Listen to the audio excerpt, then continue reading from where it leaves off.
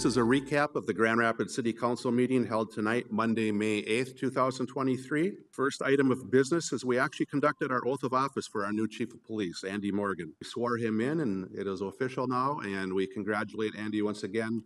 And it was nice. We had his family here. His wife pinned his chief badge on him. A nice event to, to see. We had a typical approved minutes, claims, consent agenda. Under our regular business, we adopted a nepotism policy. The nepotism policy states that nobody will be appointed to a position in which he or she would directly or indirectly supervise or be supervised by an immediate fam- family member. This is uh, somewhat standard in city government, and we, we wanted to make sure that we added that at this point. The only thing it won't apply to is part time paid uh, firefighter positions. After adopting that, we appointed uh, Tim Durkis to the position of police sergeant with, with Captain, uh, a new police chief.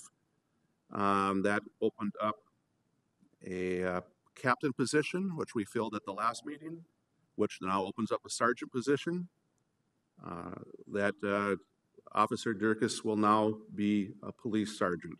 And with that, more dominoes will fall, and uh, at some point, our Human Resources Department will come back to us uh, with a recommendation to appoint um, or open up a post uh, a police officer position.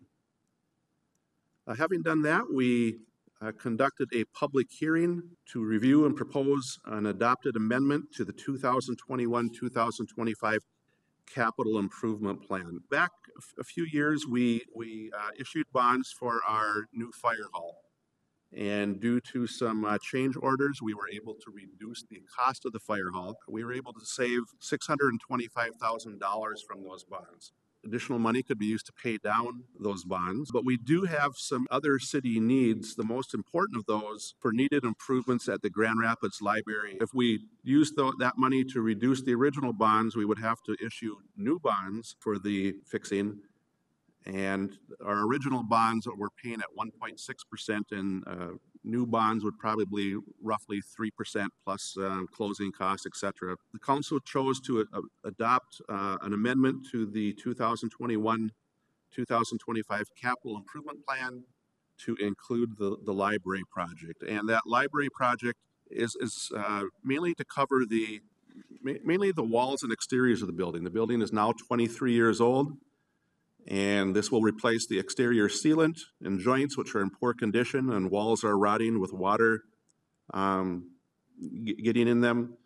Uh, to repair and replace flashing, uh, remove and reset capstones, uh, replace uh, flashing again, um, fix the window in the east office, uh, reinstall, and bring it up to a new condition, uh, perform sealant ma- maintenance, uh, repair and skylights, um, clean the brick to remove stains and moss, and water repellent products to extend useful life, uh, spot masonry repairs as needed, and um, repaint the exposed steel on the building exterior. So, uh, something you have to do with your with uh, buildings as they age is you know keep them up to date and fix them so that um, you're not spending more money down the road. So uh, the library is at that age. It, it, won't be too long. It probably will need, uh, not probably, we, we know that down the road it's going to need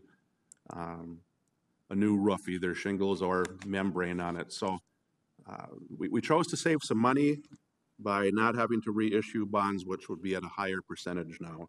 So we, we are just transferring uh, the, the, the, leftover funds from the fire hall to this uh, library project. Uh, with that, we adjourn the meeting. Our next regular meeting is scheduled for May 22nd at 5 p.m., and we will see you then.